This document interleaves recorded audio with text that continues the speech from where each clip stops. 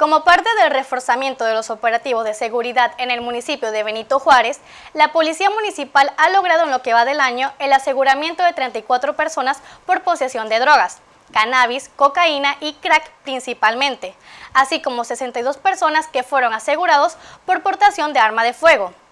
detalló que en el 2018 han sido aseguradas 15 armas de fuego tipo escuadra, 7 calibre 9 milímetros, 4 calibre .38, 3 calibre .22 y un calibre 38 super. 5 armas largas, 2 AK-47, 2 AR-15 y una escopeta calibre 12, así como 3 revólver calibre .22 y 12 armas de diversas características.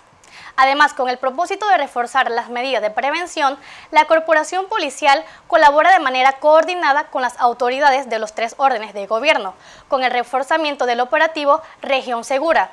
con el cual se establecen áreas de atención prioritaria, con el objetivo de inhibir, detectar actividades ilícitas y tener mayor capacidad preventiva y reactiva ante eventos de alto impacto.